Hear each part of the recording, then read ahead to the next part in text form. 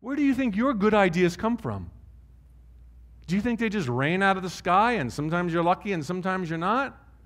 You've never had one that you didn't summon with a vision, a dream, a thought that could not become a thing without you having that bright idea. You draw from the ether people, players, circumstances, courage, creativity, inspiration, willpower, whatever you need for that end result to become a thing, it's delivered to you, infused into your bones as you are physically showing up. And it doesn't just work for the rich and famous, although that's how they became rich and famous. Listen to your friends. Listen to the ones who say, Life is hard and people are mean. Listen to the ones who say they have no free time. These are their end results, and it doesn't matter that they didn't know that they were their end results. Your friend who says, I can't lose weight, I just can't lose weight, is always right. The universe is up there watching and listening. I heard you the first 7,642 times.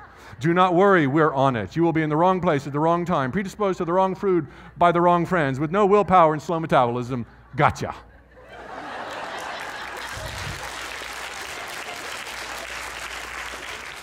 Too many times after a talk, somebody will come up to me and say, Mike, I get thoughts becoming things. I totally get it. I'm all over it. I know attitude is everything. I've always known attitude is everything. I love my life. I love my wife. I've got great kids. I even love my work. But, Mike, I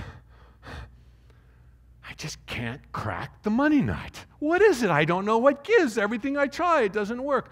No one in the history of planet Earth has ever cracked the money nut who first said, I can't crack the money nut.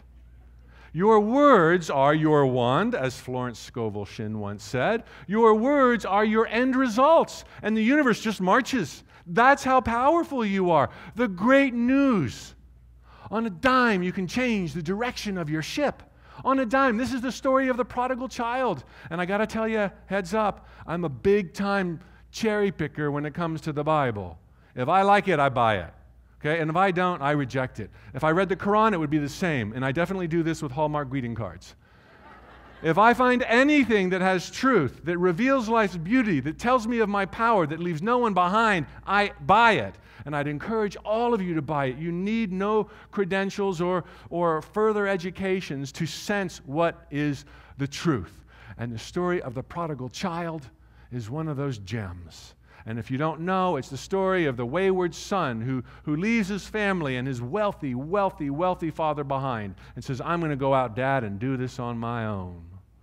And he goes out and makes a huge mess of everything. And he musters up the courage to come back home and say, Dad, I messed up. Can I come home?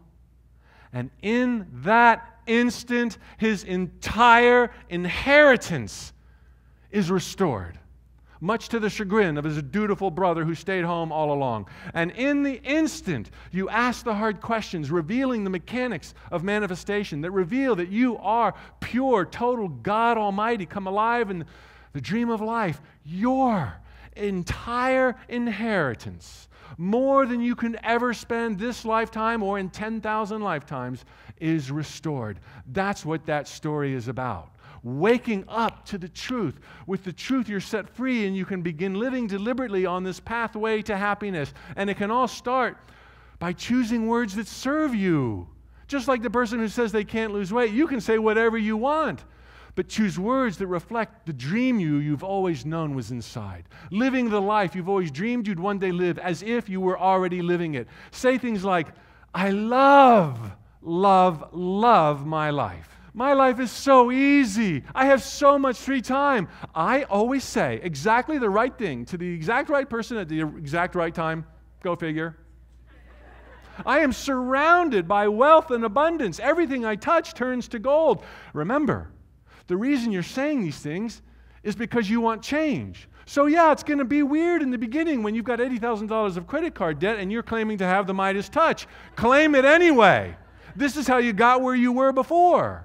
Start using your words. Start saying things that support you in the vision, that create this end result to the point that you believe in it and ultimately act on it. And don't forget this favorite declaration of all my declarations I am So, photogenic.